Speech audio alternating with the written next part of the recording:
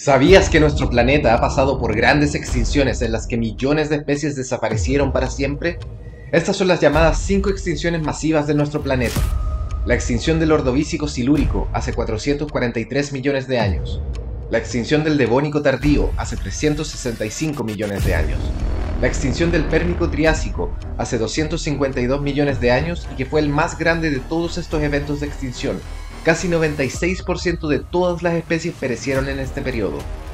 La extinción del Triásico-Jurásico, hace 200 millones de años. La extinción del Cretácico-Paleógeno, hace 66 millones de años.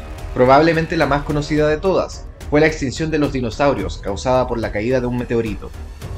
Además de estas cinco extinciones, existe también la llamada extinción masiva del Holoceno, que se refiere a la rápida pérdida de especies en los últimos 12.000 años y hasta el presente, en gran medida causada por los seres humanos.